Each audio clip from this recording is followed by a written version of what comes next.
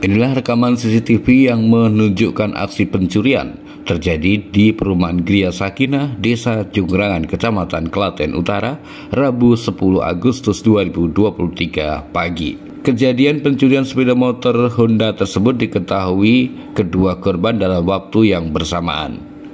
Di kawasan perumahan sekitar pukul 5.30 waktu Indonesia Barat. Berdasarkan laporan kedua korban yakni Ismanto dan Sofyan, malam hari sebelum kejadian sekitar pukul 23 lebih 30, sepeda motor masih terparkir di teras rumah masing-masing. Pada pagi harinya sudah hilang. Kapolsek Klaten Utara melalui Kanit Reskrim Ibda Haryanto membenarkan kejadian tersebut yang hilang di sini Beat Street. Ya itu.